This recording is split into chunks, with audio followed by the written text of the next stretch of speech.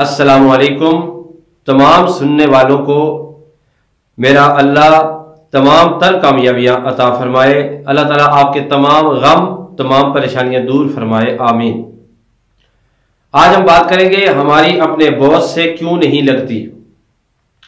ہم اپنے باس کو ہر وقت کوستے رہتے ہیں۔ دیکھیں ہم کام بھی وہیں پہ کرتے ہیں، مزدوری بھی وہیں پہ کرتے ہیں، تنخواہ بھی وہیں سے لیتے ہیں۔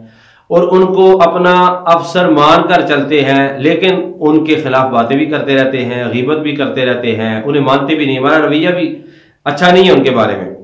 تو ہمارے یہاں پچانوے پرسنٹ لوگ جو ہیں، وہ اس مرض کا شکار ہیں کو جس کی نگرانی میں کام کرتے ہیں، جو ان کا محسن ہوتا ہے، وہ اسی کو لان تان کرتے رہتے ہیں۔ پہلے اس کی وجہ بیان ہوگی اور اس کے بعد انشاءاللہ میں بتاؤں گا اس کے نقصانات کیا ہے وجہ یہ ہے کہ ہم جس جس کے نیچے بھی جہاں جہاں بھی کام کرتے ہیں، ہم نے کبھی اسے اپنا محسن ہی نہیں سمجھا کہ اس نے ہمیں اپنے ہاں جاب دی ہوئی ہے یا اس نے ہمیں اپنے ہاں کام کرنے کی اجازت دی ہوئی ہے۔ اور وہ ہمارا باس ہے۔ اس کی تو ہمیں قدر کرنی چاہیے، اس کا شکر گزار ہونا چاہیے۔ نمبر ایک۔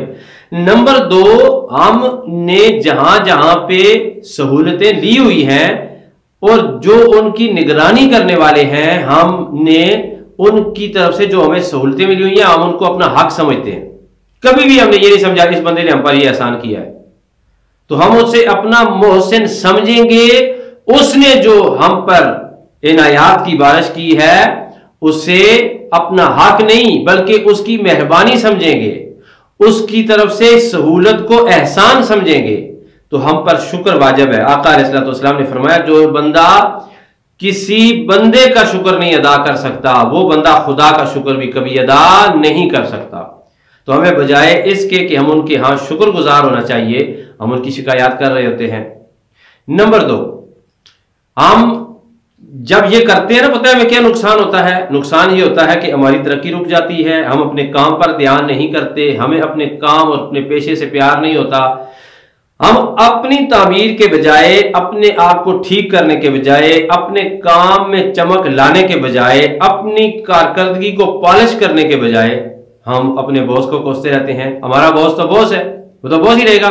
نتیجہ تر ہمارا وقت ضائع ہوتا ہے، ہماری غیبت کی وجہ سے نیکیاں ضائع ہوتی ہیں۔